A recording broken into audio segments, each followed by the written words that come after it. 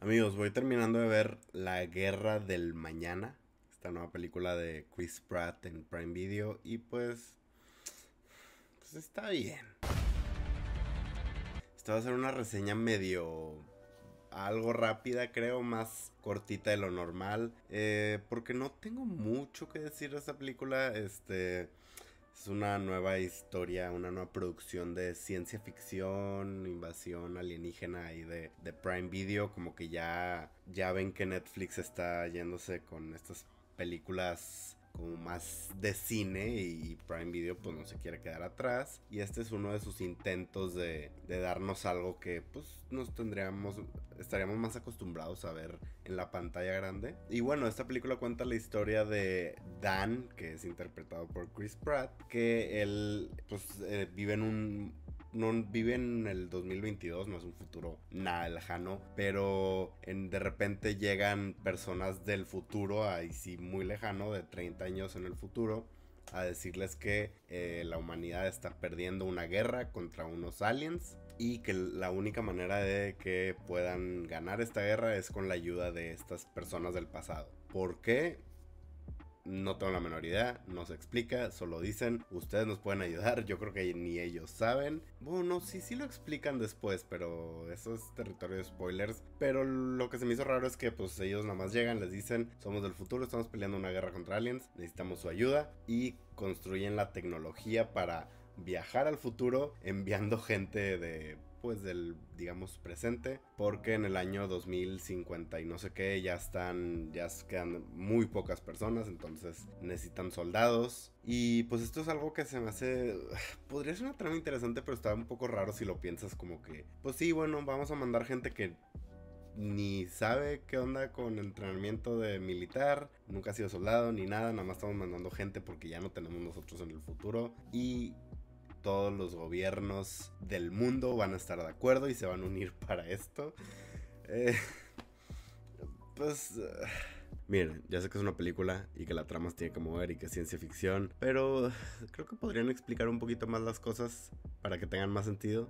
Pero bueno, entonces, pues básicamente de eso trata la guerra del mañana. Chris Pratt yendo al futuro a luchar contra estos aliens que han invadido la Tierra y están básicamente acabando con la humanidad. Porque yo que no tengo mucho que decir de esto porque es de lo que puedes esperar de una película así. Chris Pratt siendo Chris Pratt eh, es un actor que a la mayoría de las personas según yo le cae bien, a mí me cae bien. No es el mejor actor del planeta, no es un no te va a dar una actuación que se va a llevar todos los premios de, la temporada para nada. Y creo que eso es lo más importante que tienes que hacer tú cuando vayas a ver esta película, es no pensar que esta se va a llevar eh, varios Oscars o Globos de Oro, lo que quieras. Es ir a ver a Chris Pratt partiendo madres contra aliens. Si le intentan meter algo de como corazón y un poco de profundidad a la trama.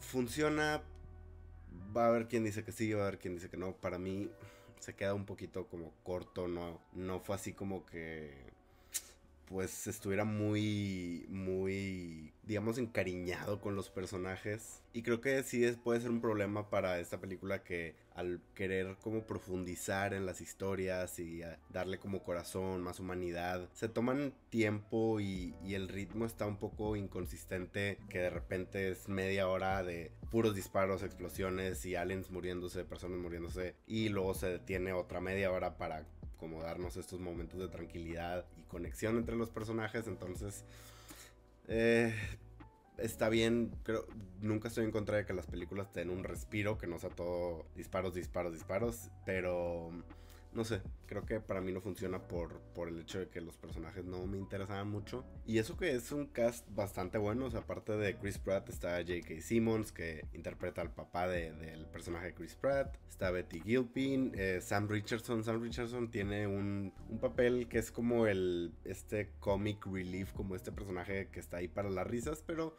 funciona, funciona bien, o sea, creo que es de lo más entretenido que tiene la película. Pero bueno, al final si lo que tú quieres ver es una película para pasar el fin de semana, eh, nada más entretenerte un rato, creo que esto te lo va a dar. Si te gustan, a mí me recordó más que una película de Aliens, sí tiene como ciertas cosas de las clásicas películas de Aliens que, que hemos visto a lo largo de los años. Pero en las escenas de acción me recordó más como una película de zombies, como que los aliens poco inteligentes, digamos, que solo atacan, atacan y se juntan todos así en, en bonche y, y los humanos solo están disparando ahí a donde caiga. Se, se siente mucho como en momentos como Guerra Mundial Z, más o menos. No no tan buena, pero como de ese estilo de acción como caótica, digamos, como muy, muchas veces ni sabes qué está pasando, no sabes que estás viendo disparos y, y ambos bandos muriendo. Pero pues sí, si lo que quieres ver es algo de acción, eh, Chris Pratt, eh, J.K. Simmons, en general te un, un, buen elenco para el fin de semana y algo no que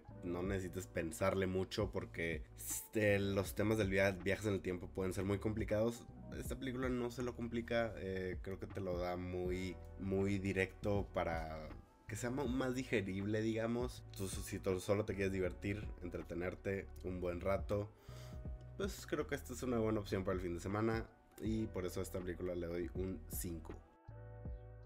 La verdad es que la puse con expectativas prácticamente nulas, o sea, no sabía ni qué esperar. Es una película que no tuvo prácticamente nada de marketing fuera de uno que otro anuncio en plataformas como YouTube o Twitch, pero no sé, como que no la promocionaron lo suficiente, solo hasta que salió ya te la pusieron ahí en, el, en la página principal de, de Prime Video, en, en, tu home, tu inicio. Entonces no sé, está raro porque se ve que sí tiene como su alto presupuesto de producción, los efectos bastante bien, o sea, dentro de lo que cabe están bien, no son los mejores que vas a ver en tu vida. Entonces no sé, no sé qué esté, que haya querido hacer Amazon con esta película, pero te digo, es, está bien para que la veas este fin de semana y pues bueno.